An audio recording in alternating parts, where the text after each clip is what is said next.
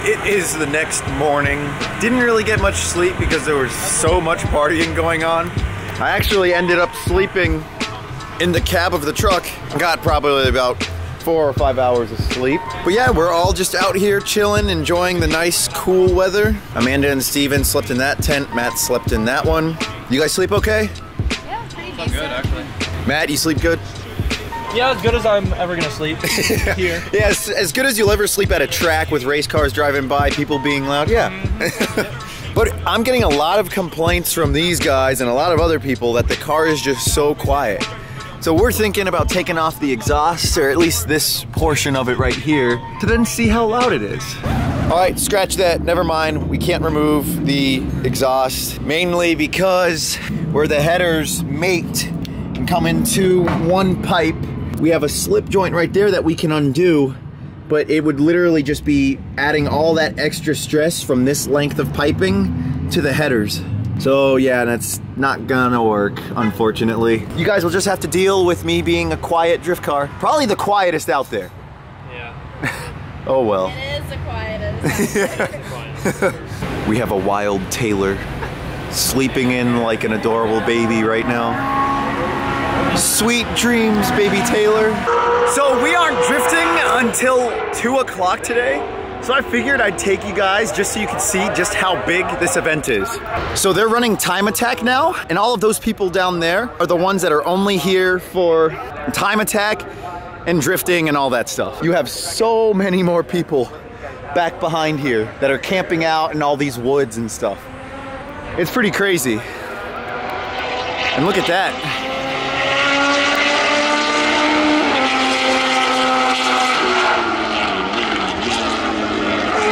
Pretty cool. And you have all these other people right in front of the stage for all the concerts that they have. It is literally like Forza Horizon in real life. It's it's pretty crazy. You got BC Racing, the Gumout crew, Forsberg and Tuerck chilling right here. You got the Falcon booth with all the Falcon cars, Dai, Yoshihara, all those cool guys. Monster Energy with their Mustangs, Pro 2 guys that are just absolutely mental. LZ and his crew. There's Hurt. That thing's sick. And then here we are. Right up over here. So they're running, like, I guess Group D of the Time Attack? I, I don't really know how all this stuff works. I'm mainly here for the drifting. These people are just taking this corner like super quick. You know, I used to think that the drift drivers were the crazy ones, but these Time Attack guys are just as crazy.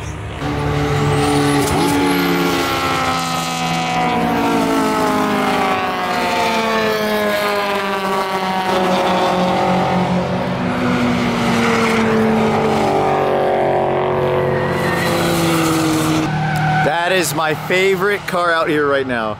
Pretty much a bone stock Odyssey. That's awesome. Got my fellow 86 brethren squatted up right over here. Oh look, it's Zach. Stock. There's ThatDudeInBlue's, 2J S13 hatch. Never seen that in person yet. It's nice. So I guess this is the result of a little smash into the wall. Airbags popped, all that. Man, this is why safety is important. Poor S2000. It looks like it'll be salvageable. Frame might be bent past the shock towers, but straighten that out, new front end, she'll be fine. Which makes me think about the time I hit the wall. You know, it happens. You know, you, you can't expect to go out, drift, race, do whatever, and not make mistakes, because it's bound to happen. All right, so first run of the day. Got Stephen's girlfriend Amanda with me. Let's do it.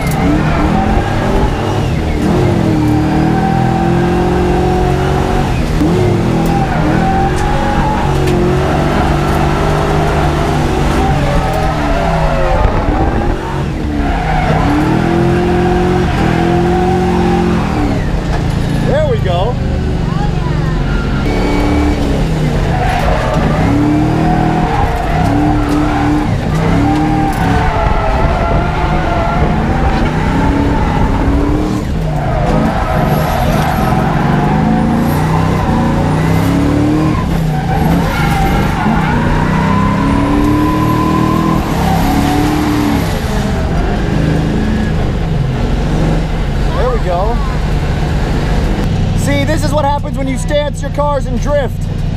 Just kidding. I feel bad for them.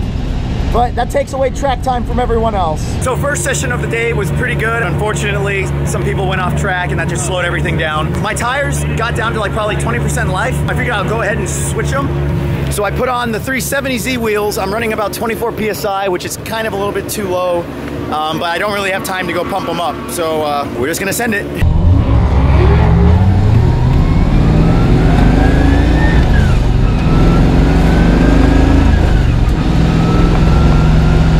All right, I'm with Stephen. Here we go.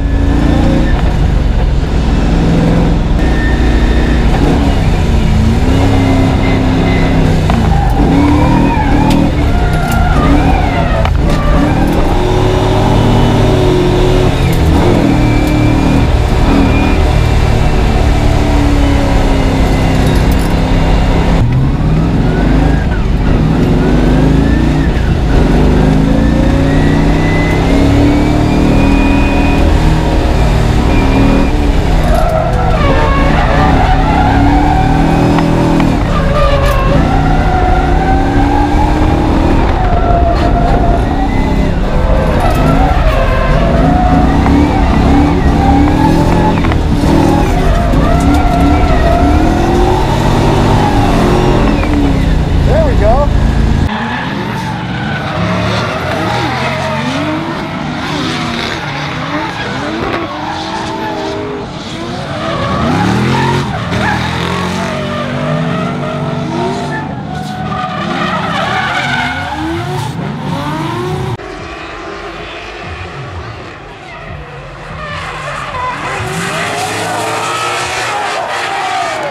I'm having a blast drifting, but I really haven't got to tandem much with Taylor or Adam.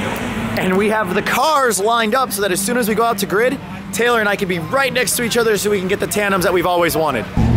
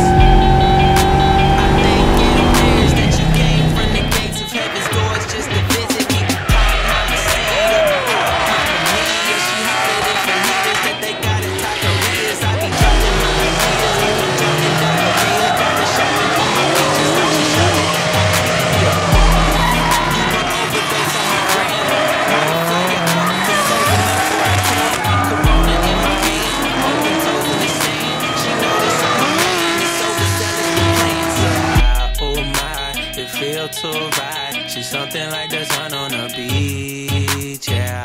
Cutie pie, to have a full fight. You bringing out the hunger in me. I'm a cool guy, you hot as July. So bring me to 100 degrees.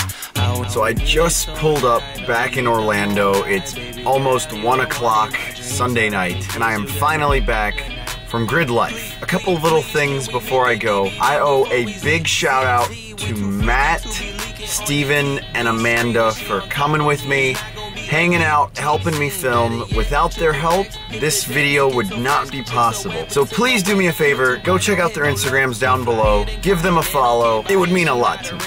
Secondly, I want to apologize if this video is kind of rushed or choppy, but I really just want to say how awesome of a time I had getting to meet all of you guys, as well as getting to hang out and drift Road Atlanta. Even though I did struggle a little bit, I really do feel like I did a pretty decent job considering it was my first time drifting the S13. But either way, I had a blast, and I cannot wait to drift again. So thank you guys for watching. Thank you to all of you that have subscribed.